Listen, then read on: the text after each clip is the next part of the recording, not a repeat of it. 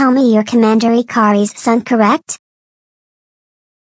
Don't you have any faith, in the work your father's doing? Of course I don't. Not in a father like him. Uh.